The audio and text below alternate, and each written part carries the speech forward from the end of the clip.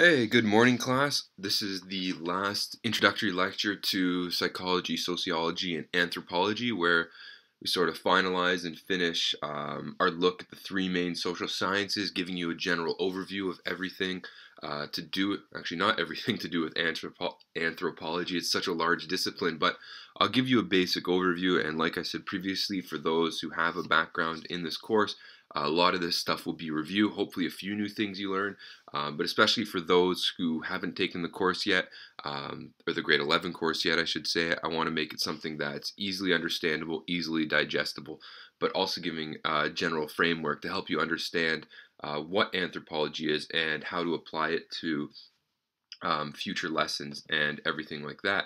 So without further ado, let's get started here. We'll start taking a look at anthropology how it tries to help each other, help us understand each other and other cultures, and well, really everything like that. Anthropology, um, like the others, uh, psychology and sociology is obviously a social science, so it deals with understanding society and the social world through the scientific method of you know a lot of observation analyzing both quantitative and qualitative data and you know testing out different hypotheses in social situations to help understand who we are. And a lot of anthropology unlike sociology which does focus on the who we are anthropology focuses a lot on where we have come from and looking more back into human history um, to see where our origins are and where how, how society developed and how we got to know where we are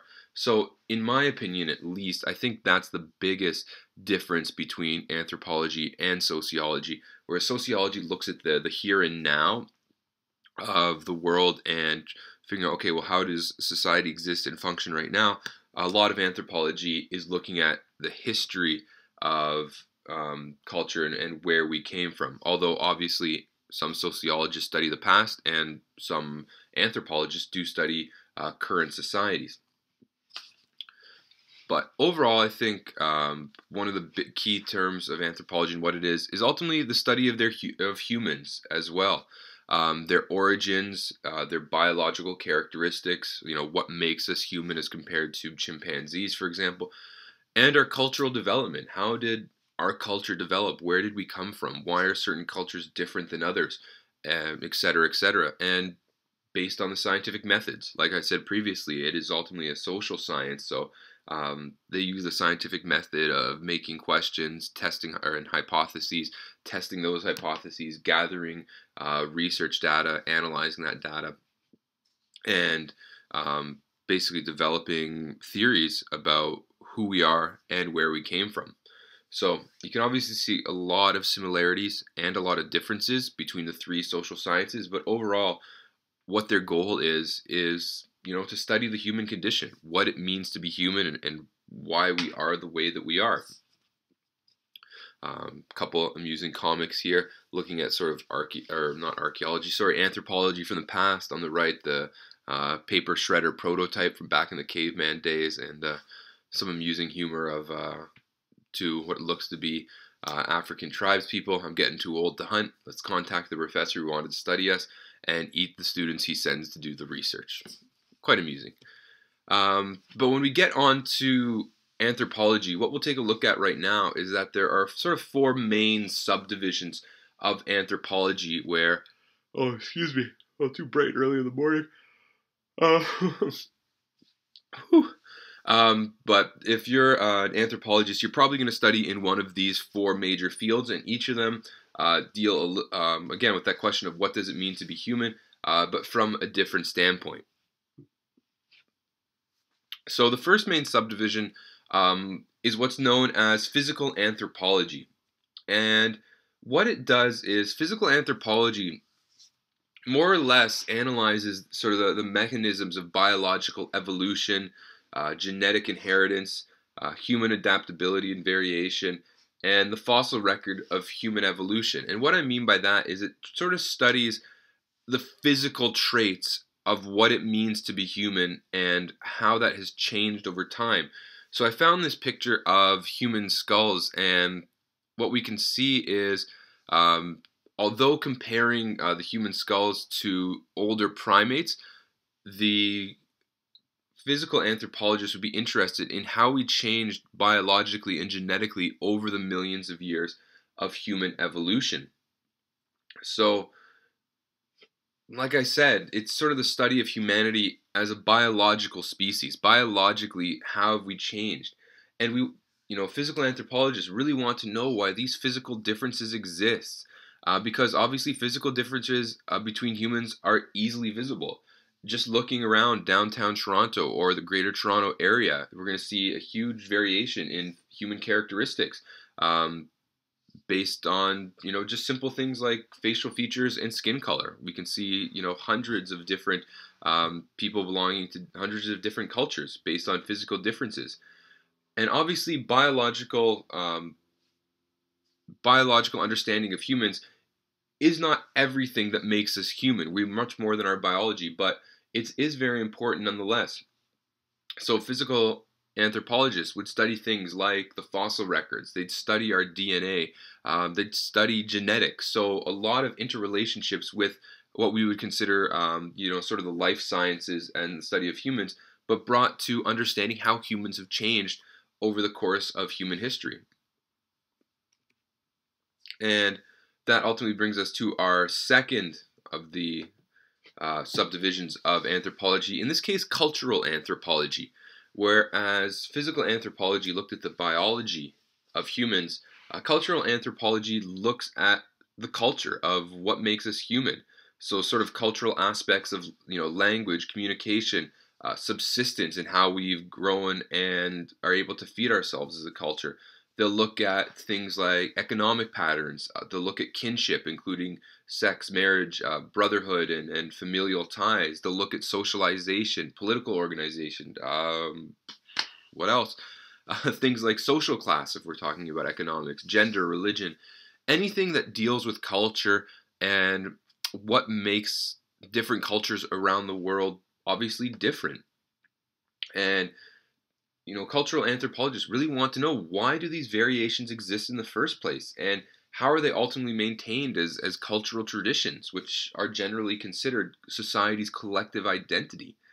So, you know, why is it that uh, certain cultures have certain, uh, you know, identities and traditions that are, are part of their culture that are very, very important? And thinking off the top of my head, you know, maybe a cultural anthropologist would want to know uh, the background of Chinese foot binding, for example. Why did Chinese foot binding become and stay a part of Chinese culture for hundreds of years. Uh, cultural anthropologists would also look at things like, you know, why do, you know, us in the West, why is it that, you know, we became such a very uh, culture based solely around time? Why is it that in the West we're so worried about, you know, starting school and work at a specific time, ending at a specific time? what changed whereas you know our ancestors worked with the the general schedule of the day and not on any predetermined time so uh, those are two very small examples of what a cultural anthropologist would look at but you know they're interested in anything to do about culture and just like i mentioned in the sociology one uh, society is a huge huge branch of, of research and so is in this case culture culture is absolutely massive and anything dealing with culture, an anthrop- cultural anthropologist would want to take a look at. Thirdly, moving on, we have archaeology. And archaeology, I think a lot of people are uh, quite familiar with it, and it's not solely the uh, Indiana Jones of you know finding old relics, returning them to museums, stopping the Nazis, and everything like that. But archaeology is, is something I think a lot of people are familiar, and it's basically the study of you know prehistory and early history of cultures around the world through looking at how humans live, their their social, um, their cultural structures that they have, the buildings and the relics that they leave behind. So what they're looking for is archaeologists tend to try to find you know sites where they believe um, the relics of and the remains, I should say, of ancient cultures are and they want to excavate, date these things, analyze the material remains of past society. Because unlike physical anthropology and cultural anthropology, especially looking at the past, uh, you know, anthropologists are only human, and they do bring certain biases into uh, their, how they do their work. Although all social scientists try to minimize bias as best we can, we can only really look and understand the past through our own through our own biases and our own experiences, however small and minute they may be. Whereas archaeology, it's a physical record of how people live, so it does, in a large way, eliminate biases as to how people lived and what or sorry how people lived and the society and the type of culture that they lived in so you know archaeologists in general just study the material remains of ancient cultures and whether that is jewelry if you ever go to a museum there's you know a lot of ancient jewelry that people have a lot of pottery uh, cookware is there uh, building structures building materials so anything dealing with the physical remains of, of old societies uh, is fair game for the archaeologist. And you know, they even study, you know, the million, 2.5 odd million years of human history before the written word, uh, how people lived before we were able to communicate, before these, these you know, cultural, or sorry, not cultural, um, before the, the agrarian revolutions of, you know, 12,000 BC. They want to know how human beings lived. And that really takes us to the last main subdivision of anthropology, which is linguistics. And it's really just the study of human languages and how language evolved in the first place. Currently, anthropologists estimate there are about 6,000 human languages, and a lot of them are going extinct as you know the majority of the world takes to some of the major languages obviously the biggest one being english uh, but linguistic anthropology they want to know you know the human communication process and how that impacts sociocultural influences. How does language affect this and shape our societies? You know, they study things like uh, not just uh, written communication or spoken or oral communication, I should say. They also look at things like nonverbal communication. They look at things like uh, verbal communication in the written word, the structure, function, and history of languages, uh, the dialects, and how they're, they're offshoots of main languages. So they want to know everything about communication, human communication and how it affects our culture and society. So, overall, those four main subdivisions do give us a very, very good, strong understanding of what it means to be human and how culture and society is shaped over the course of human history, whether they're studying society right now or whether they're studying society, ancient societies of, of thousands or tens of thousands of years ago. So, if you're, we'll sort of move forward to uh, anthropology in the current time in terms of if you're going to study current societies, because it's very, very difficult to study previous societies as we have not really invented any time machines. We can only study their sort of remains and what they've left behind. But for anthropologists today, studying uh, societies and cultures, perhaps uh, you know an African bush tribe, for example, the main way a lot of, or the main way, not a lot of, the main way anthropologists study is what's known as participation observation by participating in a society and observing it. Because anthropologists know that the best way to actually understand and know another culture and society is really to live in it as an active participant rather than simply an observer, taking on the culture and the tradition and the roles uh, associated with those societies. You get a much greater understanding of what that society is you know and by physically and emotionally participating in the social interaction the society society's you know become an accepted member and it's so much better to be an accepted member of society to, to join into that society rather than being sort of an outside observer by getting into that society you'll learn more about the cultures and the ways and what people do so anthropology, I think, is, is a fascinating discipline because you do hear a lot of anthropologists and famous anthropologists being able to live in those societies and cultures and knowing something outside of your own culture and something outside of your own immediate experience. So, one example is a woman named Dian Fossey, and she's kind of similar to Jane Goodall if you know her.